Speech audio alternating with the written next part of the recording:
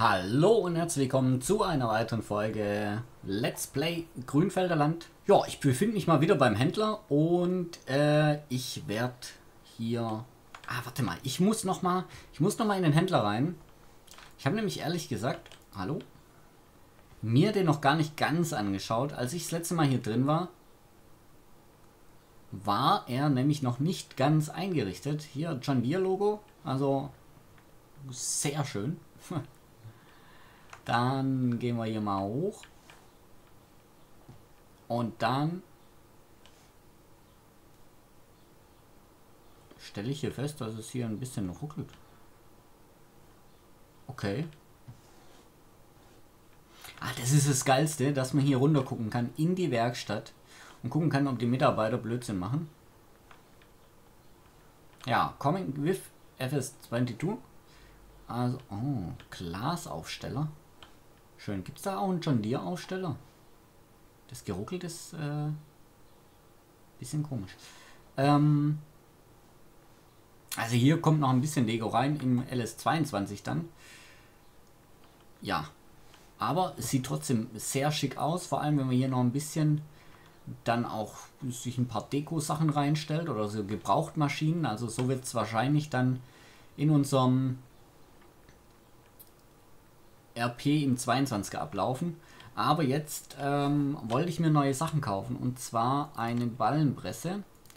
Und da ich ein bisschen auf Markenvielfalt setzen möchte, werde ich mir eine Kuhn-Presse holen und einen andersmarkigen Traktor. Und da habe ich mir auch schon einen ausgesucht, nämlich den MF 8700 mit Agribumper, GPS ja, Reifenvariante machen wir Breitreifen und Motorausführung den 8737 und den holen wir uns.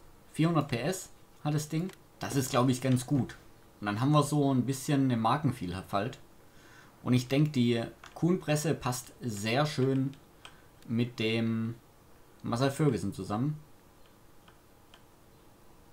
Oder? Was meint ihr? Schreibt es gerne mal in die Kommentare, was ihr davon haltet. Ich weiß, viele sind einfach äh, John Deere oder ähm, ja, Fendt-Fan, aber ich dachte mir, ich mache hier mal ein bisschen Markenvielfalt. Und darum gibt es hier einen MF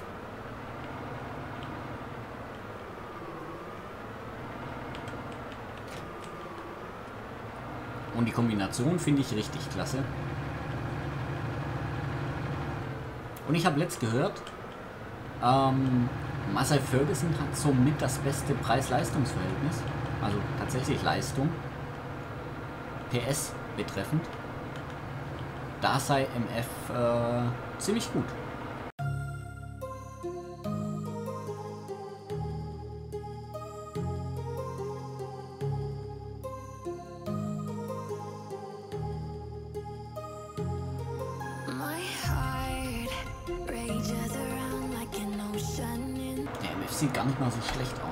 Finde ich ja irgendwie mit dem Acrylbumper-Teil sieht er sogar richtig klasse aus.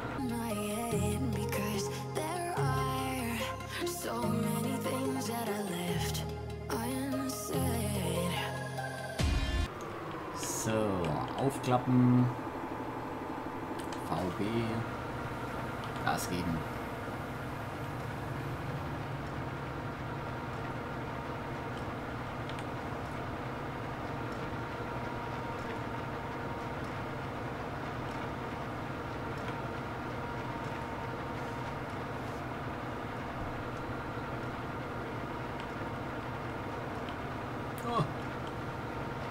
Gerade noch ein Foto schießen.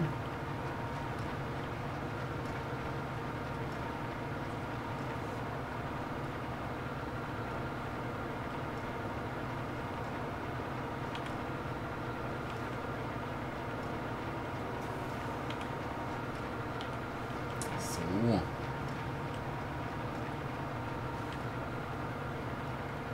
Ja, warum habe ich die Quaderballenpresse genommen? Ist ganz einfach. Dann rollen die Ballen nicht weg. Das ist immer so ein kleines Problem, wenn du die Rundballenpressen hast. Die Rundballenpressen sind natürlich viel schöner, was jetzt ähm, das Arbeiten dann mit äh, Silage angeht. Also könnten die gut wickeln,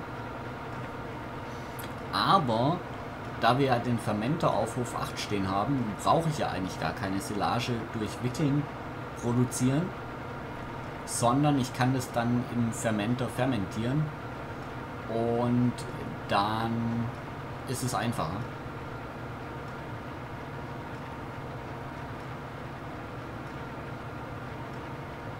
Und vor allem, wenn ihr, wenn man LS auch so spielt, dass man die Ballen selber dann noch aufladen muss, ist es auch immer ganz geschickt, Quaderballen zu nehmen, weil die kullern auch nirgends weg.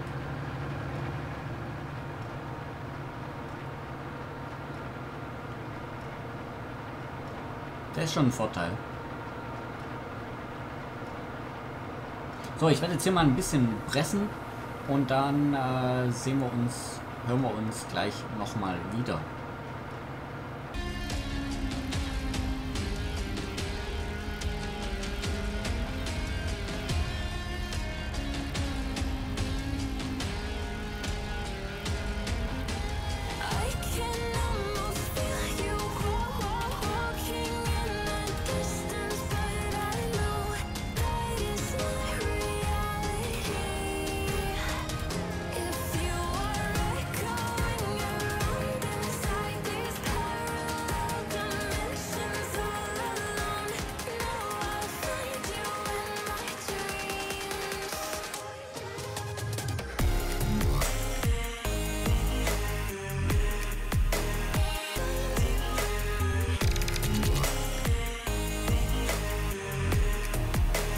Die letzte Reihe Stroh ist dran.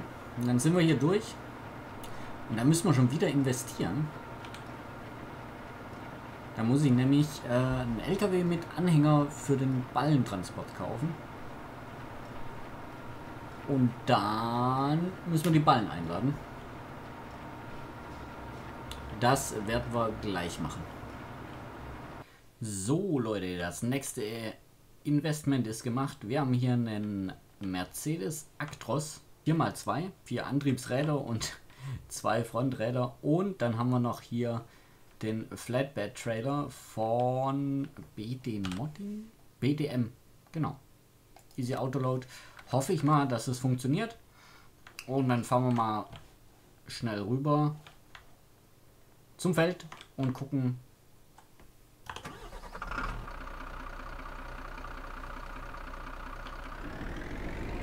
dass wir den vollgeladen bekommen.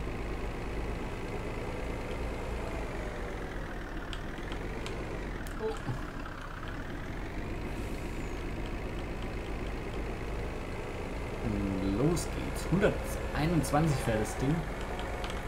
Oh, mal, wie schnell wir da werden können.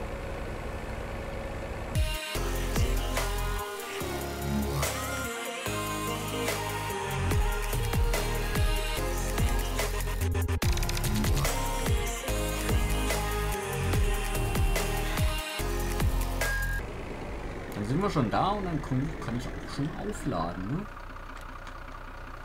Ähm, Ladegut. Quaderballen. Arbeitsmodus anschalten. Uh. dann schauen wir mal.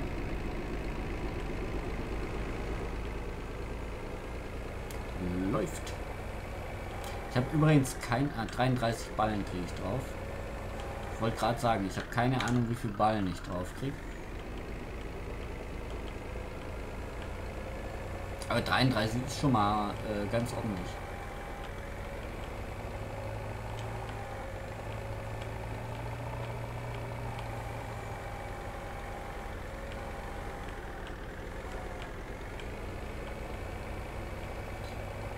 Gut, die werde ich dann gleich ins Lager fahren. Und dann, wenn wir sie wieder brauchen, ähm, kommen die oben in den Komposter oder bei den Kühen rein, je nachdem, wo halt Stroh am Mann ist.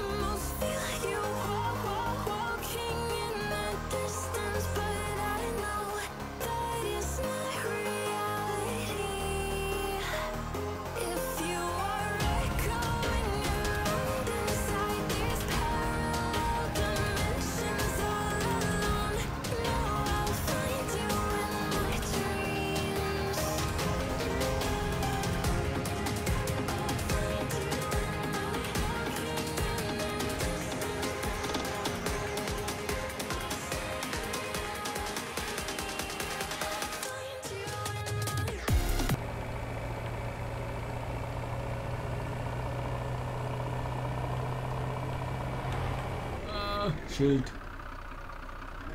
Mist. Das war klar, musste irgendwann passieren.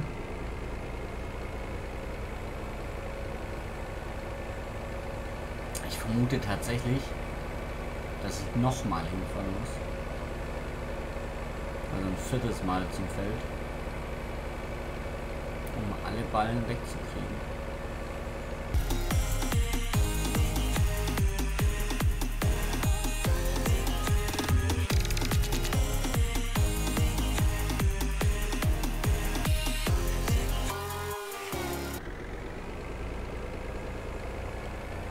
Geht sich's aus. Es reicht. Alter, ein Ballen hätte ich noch Platz gehabt. Perfekt. Gut. Dann fahren wir die Ballen auch noch zurück und wie ihr wahrscheinlich schon gemerkt habt, findet der Upload von dem Let's Play hier alle zwei Tage statt. Denke, den Rhythmus werde ich auch ungefähr beibehalten. Hoffe ich zumindest mal.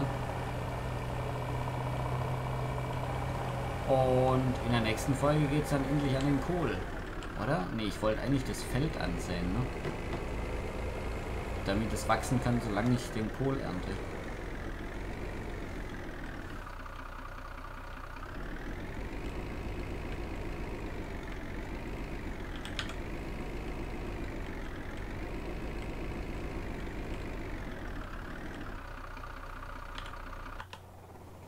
So. Supidupi. Wie viel haben wir hier jetzt drin? Äh, drei, fast 400.000 Liter. Das ist gut, das ist gut. Das ist sehr gut. Wobei ich glaube, vielleicht werde ich doch erstmal den Kohl ernten, weil solange dann die Felder angesät sind, kann ich hier drüben eben auch Heu und Gras ernten, beziehungsweise hauptsächlich Heu erstmal. Und das passt dann auch. Also da habe ich dann sowieso noch was zu tun. Soweit, so gut. Also haut rein, macht's gut, bis zum nächsten Mal. Ciao.